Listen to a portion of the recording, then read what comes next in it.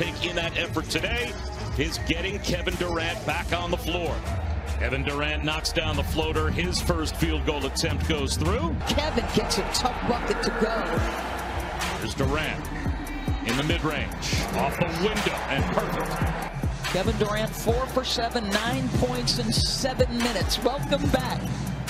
It's great, man. It's uh, it's like always, no matter how much you're used to it, you know, it's always impressive to see, uh, you know, just how efficiently and how well and easily he scored.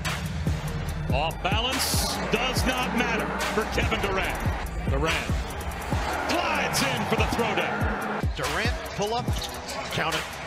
As Durant tries a three and knocks another one down. As the Nets extend their lead. Durant. Oh yeah! A straightaway three for KD. Kevin Durant adds to a terrific performance with a chance for a three-point play. He's got 33 points in 28 minutes.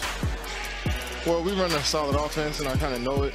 Um, and I know what my spots are on the floor, so I just try to work on those in practice. And even though I've been out with injury, with an injury, I still get a chance to work on my game. So um, try to find, sharpen up those skills as much as I can, and when the game comes, be able to, you know, be ready to execute.